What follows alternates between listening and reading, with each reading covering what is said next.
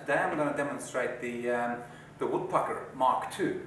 Uh, the original Woodpucker was basically a, um, a wooden version of the um, very successful puck and stomper, which is made from a, um, a hockey puck, uh, but was um, taken over by the hockey puck itself, so it was discontinued.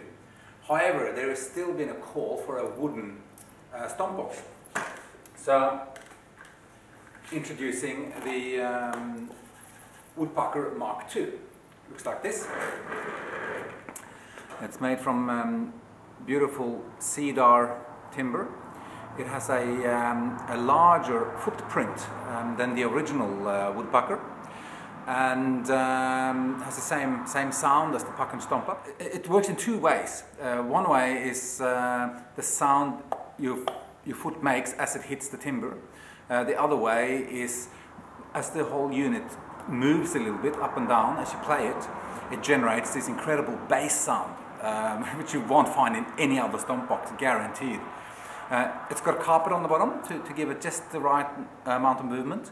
Um, if you're playing on a polished floor or, um, or a slippery surface, it also comes with a little rubber mat that just um, little velcro dot sticks to the bottom of it and that stops it moving around while you're playing.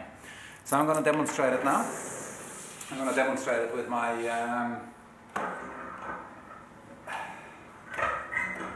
backpacker and I'll change the camera angle to show you the puck on the floor.